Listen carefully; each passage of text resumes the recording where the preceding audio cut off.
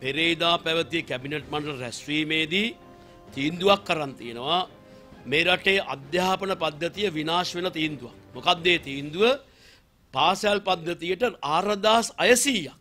විදුහල්පතිවරු කිසිදු විභාගකින් තොරව පත් කරන්න.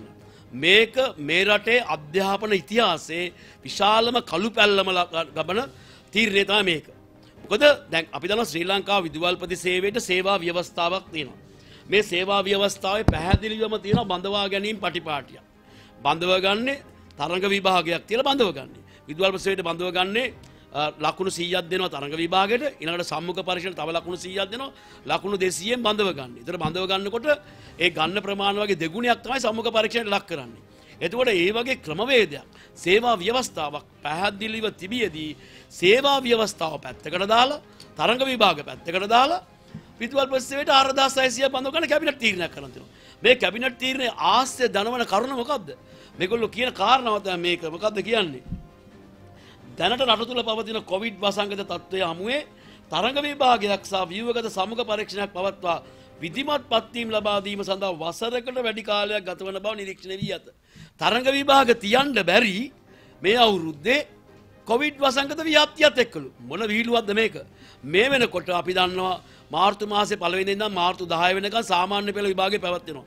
ලක්ෂ 6කට ආසන්න සංඛ්‍යාවක් ඉන්න විභාගේ ලියනවා.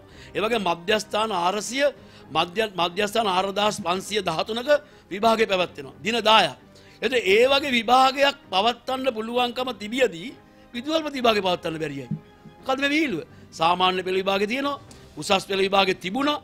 ඒවගේ ශිෂ්ත් විභාගේ තිබුණ කොවිඩ් වසකත තත්වය තුළ. කොවිඩ් තත්වය තුළ ඒ විභාග ඔක්කොම තියෙනවා. ඒවගේ අපි දන්නවා සතියන්තේ විධ විධ විභාගතුන විභාග දෙපාර්තමේන්තය බඳවා ගැනීම විභාග ඒ ඔක්කොම තියෙනවා.